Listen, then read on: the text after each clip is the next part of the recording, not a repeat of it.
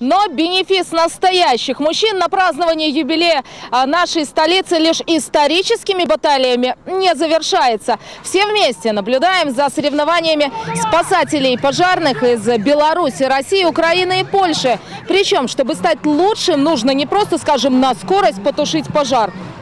Только представьте, в полном снаряжении подняться на четвертый этаж, поднять туда рукав весом в 19 килограммов, а, кувалдой переместить э, какую-то железную балку весом еще в 73 кило, потом нести манекен с взрослого человека и еще после этого начинать что-то тушить. Ну, давайте лучше посмотрим, как это было.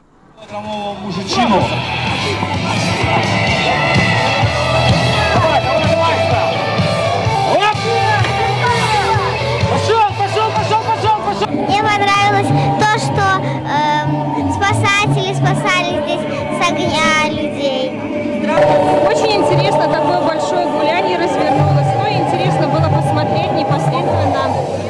Спасатели спасают людей. На скорость, кто первый, тот молодец.